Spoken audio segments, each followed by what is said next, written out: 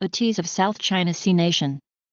CMR is a Shanghai-based marketing firm that specializes in helping equity firms and companies looking to invest in China. Most liked Donald Trump's comments on various issues in NYT interview and Trump disavowed the alt-right, speaking at length about his perceived closeness to the movement for the first time. Opinion Note 23, 2016 714 Trump must not be allowed to trample on climate deal.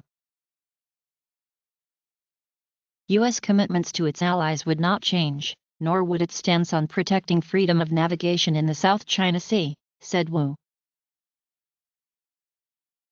But the question of what would be a possible trigger for an open conflict in the South China Sea should be the primary concern of all decision makers. However, between 1955 and 1956, accelerating interest grew among the neighboring nations.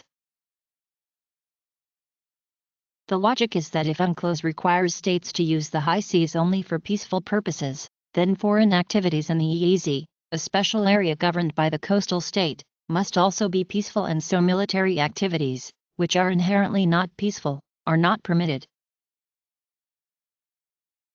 Recent U.S. efforts to counter what it sees as China limiting freedom of navigation in the South China Sea have drawn Beijing's ire and stoked fears of military conflict.